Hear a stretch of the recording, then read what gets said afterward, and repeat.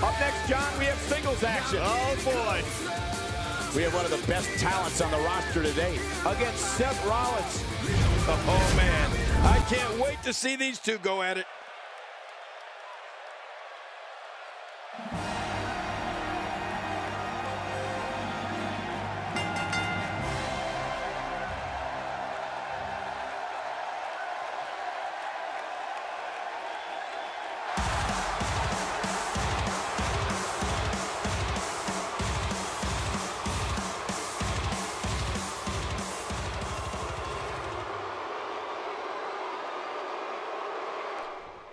What is up, console superstars, and how are you all doing today? I'm hoping you guys are all having, if not going to have, an excellent day and night. And once again, we are facing Seth Rollins. I repeat, this isn't really a new matchup we're doing. We have faced this guy a bunch of times. We're facing him right now in the WWE main event. Just last main event, we faced Kevin Owens. And then the following week in SmackDown, we faced Kevin Owens again.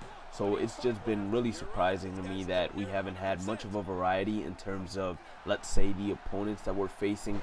But this match against Seth Rollins, to me, is probably my favorite match out of all of them. And it's because something special actually happens in this match, which I am definitely not going to spoil until the very end, where you guys will see it for yourselves. So right there, he did a nice little reversal on me, hit me in my stomach. But you guys know about my steel abs, how they're just so strong that you know I take punches for a living there just to like train. So he tried to flip me over or at least put me on the ropes and do some sort of move there, but instead I decided to actually flip him over the ropes and send him out to the mat with a punch. And you guys know me, my punches are like one punch man. Now I don't know if this taunt necessarily makes them get up, but as soon as I always press it, it seems like the opponent always gets up no matter what.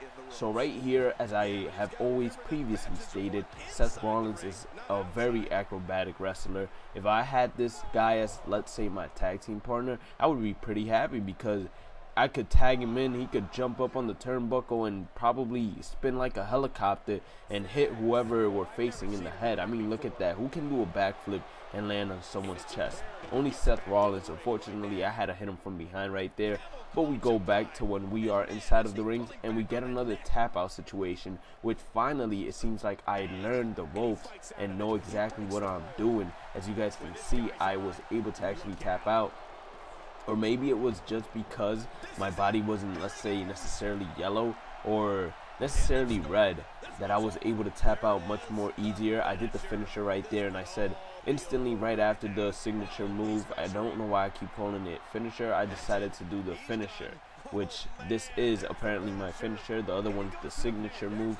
So I did both of them, and I expect Seth Rollins to actually be out. I mean, come on, man. I just dropped you on your back and then dropped you on your head. You should be suffering from a concussion.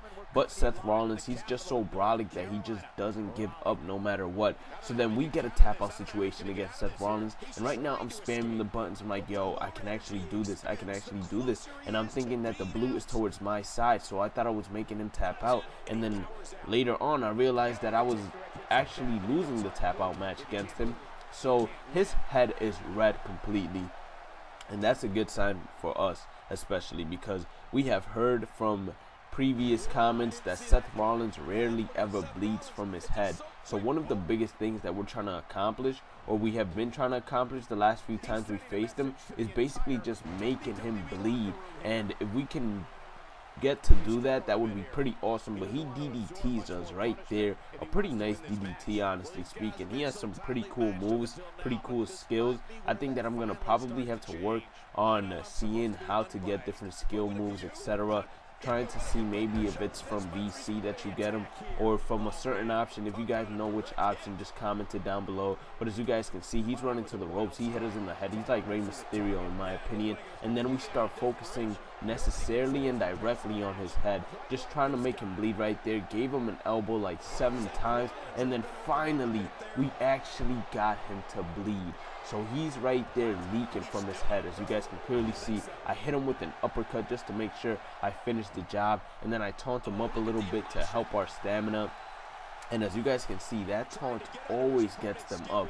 I don't know why. And then we decide to finish him off easily by doing our finisher. And now that he's bleeding from the head and blood is all over his chest, like this dude is having the bloodiest match he's probably ever had in his life against us. And with that, we end today's episode. So if you guys like the gameplay and commentary, make sure you guys hit the thumbs up button. If you have not subscribed already, make sure you do for more WWE 2K17 My Career. And as always, guys, have a great day and night. Stay positive. Keep on grinding. Keep on smiling. And I'll catch you all in the next one. Peace out, console superstars.